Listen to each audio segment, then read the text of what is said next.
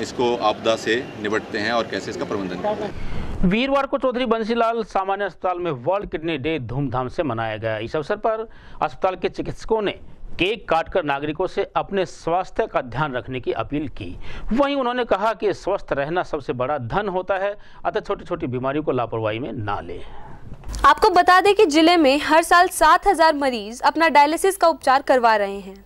कहा जाता है कि यदि धन गया तो कुछ नहीं गया, और यदि स्वास्थ्य गया तो बहुत कुछ चला गया। जी हाँ आज की भागदौड़ की ज़िंदगी भले ही देखने में आरामदायक हो गई हो, पर व्यक्ति के शरीर में विभिन्न प्रकार की बीमारियों ने घर बनाना शुरू कर दिया है।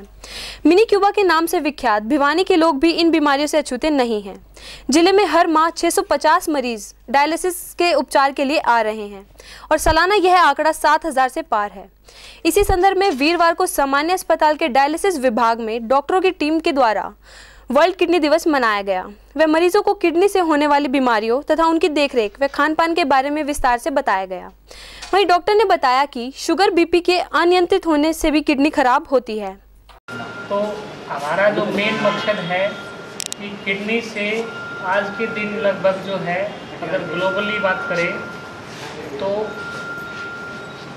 800 मिलियन के करीब जो है पेशेंट जो है है और हर 10 में से एक मरीज़ अडल्ट में जो है वो किडनी से ग्रसित है। तो और जो है तो ये बीमारी जो है ना, एकदम नहीं होती है।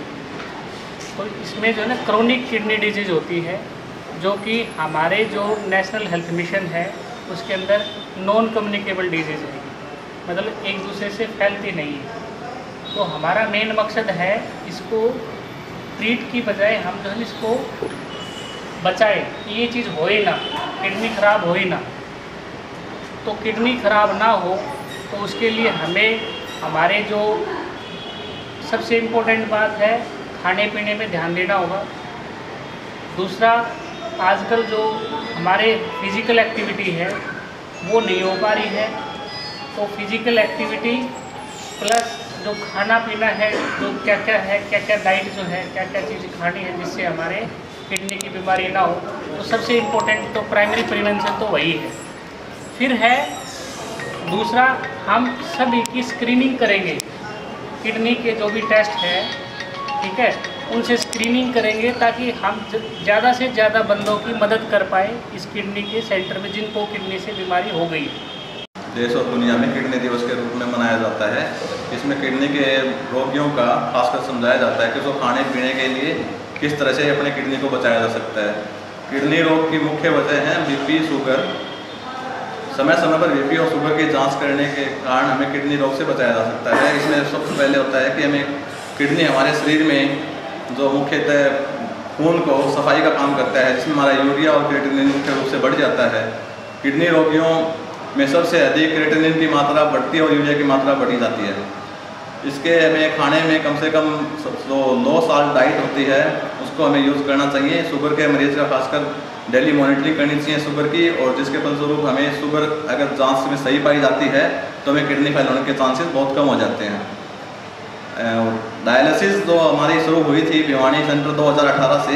उस समय हमारे में किडनी के बहुत कम ही मरीज़ थे और मात्र 24-25 डायलिसिस अधिकतम हुआ करते थे। लेकिन आज ये संख्या पहुँच कर छः के औसतन हो रही है महीने में और करीबन सात हज़ार से ऊपर डायलिसिस वार्षिक यहाँ पे हो रही है।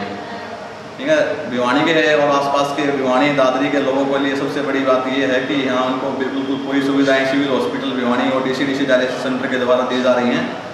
और समय समय पर इनको तीन शिफ्ट चार शिफ्ट भी कर करके हमें डायलिसिस दे रहे हैं। सबसे ज़्यादा ये है कि यहाँ पे बहुत लो कॉस्ट में और बीपीएल के लोगों को, इसके अलावा लो इनकम के लोगों को फ्री डायलिसिस सुविधा मिल रही है। साथ में किडनी के मरीज़ को सबसे ज़्यादा एफ्लोपोइटिन नाम की जो इंजेक्शन की ज़रूरत होती है, वो भी यहाँ फ्री दिया जाता है। बेहतरीन प्रदर्शन करते हुए तेरह बॉक्सर्स में से नौ बॉक्सर्स ने टोक्यो ओलंपिक में बनाई अपनी जगह। यह कहना है